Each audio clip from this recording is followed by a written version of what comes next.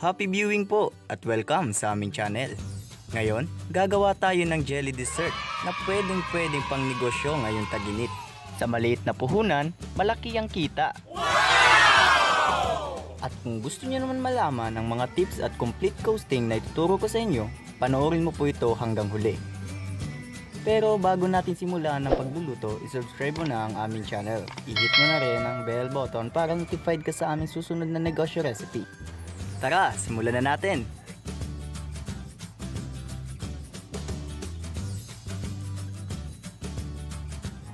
Ito ang mga pangunahing sangkap. 3 liters water, 3 cup sugar, 1 and a half cup evaporated milk, and jelly powder, strawberry, mango, at buko pandan.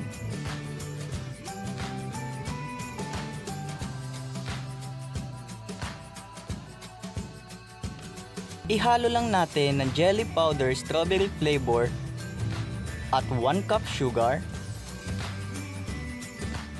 at haluing mabuti.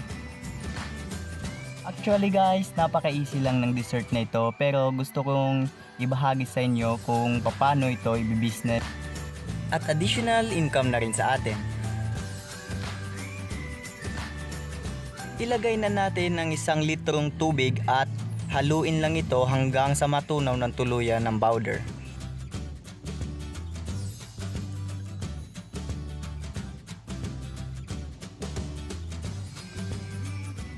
Lutuin lang natin ito sa medium heat at continuously stir hanggang sa kumulo at maluto ito.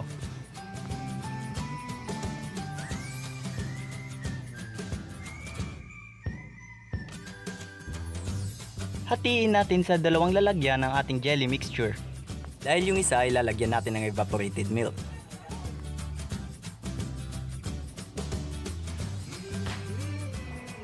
Ilagay ang 1 half cup evaporated milk sa ating jelly mixture.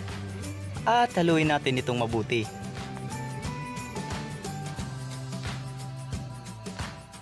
Lutuin ulit natin sa medium heat at pakuluan at iset aside. 3 ounce cup ang size ng cup na gamit ko. At gumamit rin tayo ng egg tray para mayroon tayong hulmahan ng ating jelly.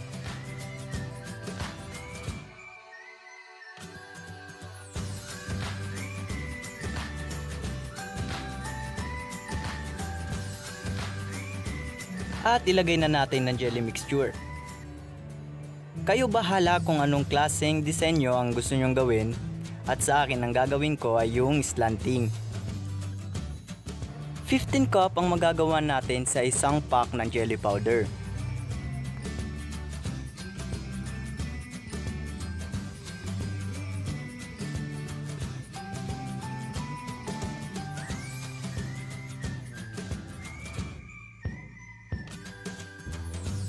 At after natin malagyan lahat ng jelly, palamigin na muna natin ito.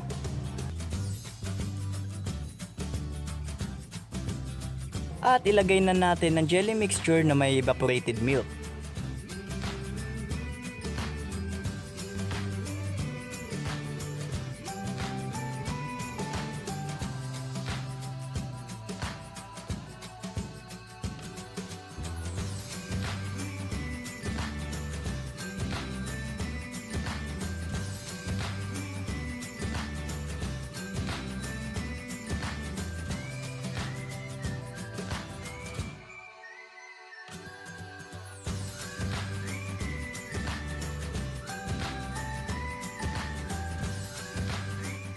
After natin malagyan lahat ng cup, ay palamigin na natin ito.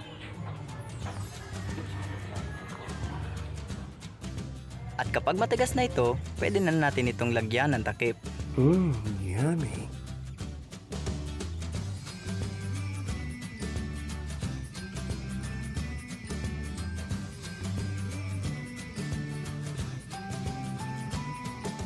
At i-chill na natin ito. Mas maganda kapag malamig na malamig. At ngayon ay gagawa tayo ng mango jelly. Parehas lang po ang procedure nila kaso ibang flavor. At ngayon maglalagay tayo ng isang pack ng mango jelly powder at 1 cup sugar at taluin natin itong mabuti.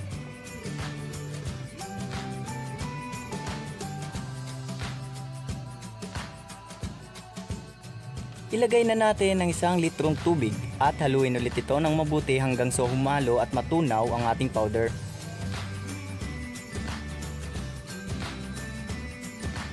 Lutuin lang natin ito sa medium heat at continuously stir until it boils.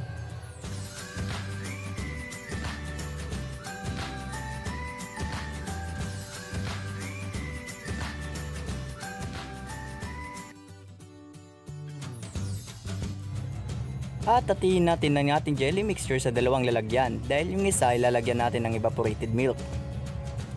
Ilagay ang 1 half cup evaporated milk sa ating jelly mixture at haluing mabuti. Lutuin ulit natin ito in medium heat and iset aside. At pwede rin kayong gumamit ng kahit anong size ng cup depende sa kagustuhan nyo. At gagamit tayo ng egg tray para ihulma ang ating jelly.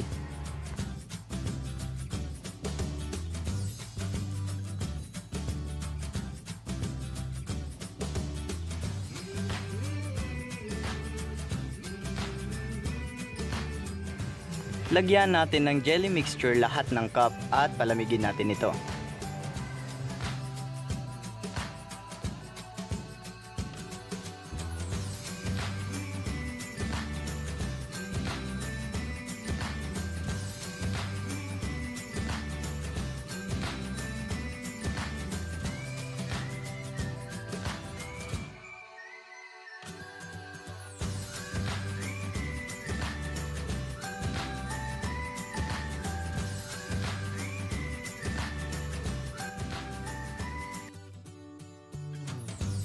Ganito ang magiging texture niya kapag malamig na siya.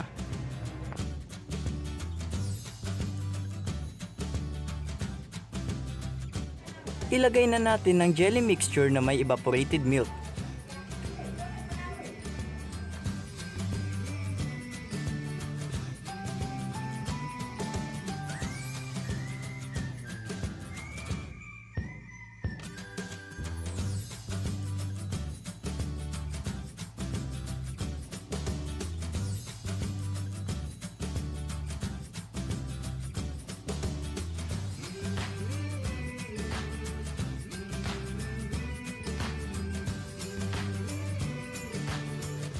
At palamigin na natin ito.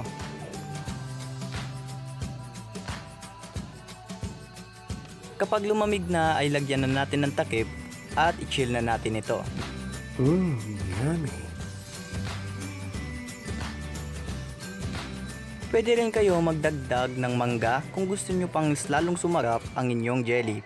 Pero magtataas rin kayo ng presyo ng inyong dititinda. Limitan kasi mas maganda yung ibenta yung abot kaya ng mga bata.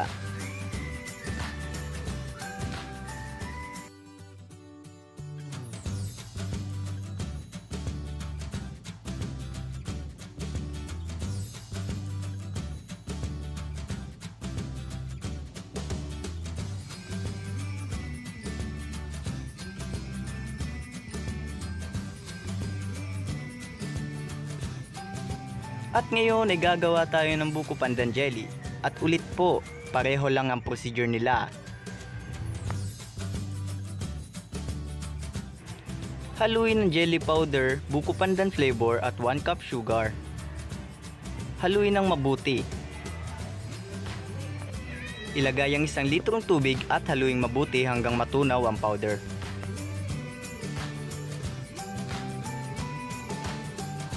Lutuin natin ito in medium heat at patuloy lang sa paghalo hanggang sa kumulo na ang jelly.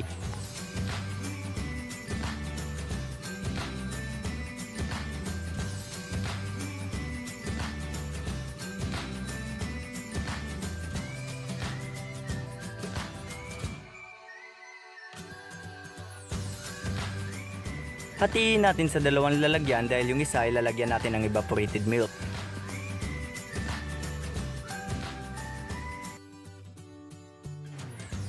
At ihalo na natin ng 1 half cup evaporated milk at haluin itong mabuti.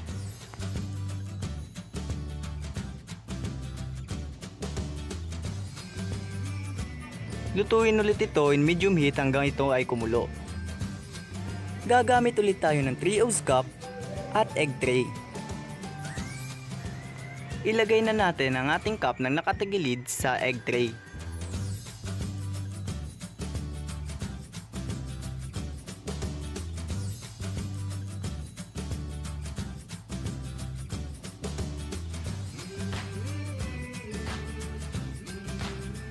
Lagyan ng jelly mixture ang lahat ng cup.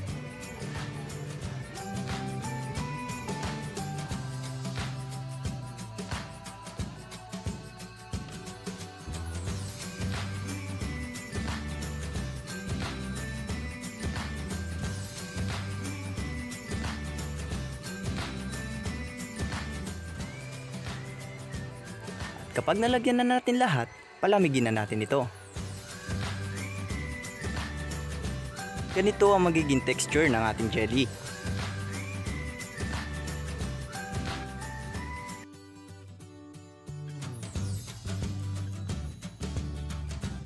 At lagyan na natin ulit ng jelly mixture na may evaporated milk.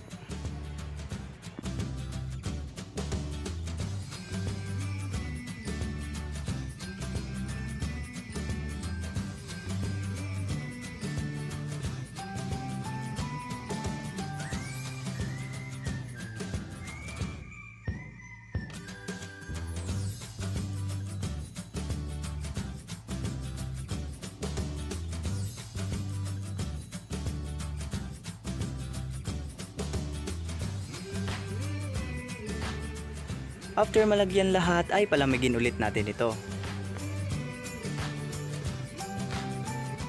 Kapag tuluyan ng matigas ang ating jelly, lagyan na natin ito ng takip at iset aside na natin ito. Ilagay na natin ito sa fridge para pwede nang iserve at ibenta.